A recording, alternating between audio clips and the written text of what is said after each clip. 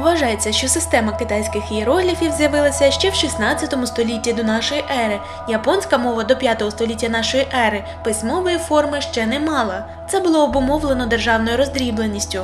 Відповісти на питання про загальну кількість ієрогліфів практично неможливо, бо їх число справді величезне. Судячи по словниках від 50 до 85 тисяч. Однак в комп'ютерній сфері випущені системи шрифтів, що містять кодування для 170-180 тисяч символів. Туди включені всі стародавні та сучасні ідеограми, які коли-небудь використовувалися у всьому світі. А як же японці, наприклад, набирають смс на телефоні? Сучасні технології голосового набору? Насправді все набагато простіше. Китайська клавіатура це звичайна клавіатура з латинськими буквами, а також з деякими додатковими символами, що використовуються в різних системах набору.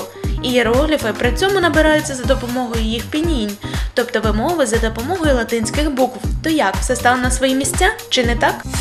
Для іноземного гостя всі ці ієрогліфи не більше, ніж дивні малюнки, які можна порівняти з карлючками в кабінеті психолога, за якими кожен бачить своє значення. Тим часом, на відміну від письмових мов інших народів, для китайців ієрогліфіка це і засіб спілкування, і мистецтво, і сакральне знання, і тонка нитка, що пов'язує покоління, і зрозуміла предмет національної гордості.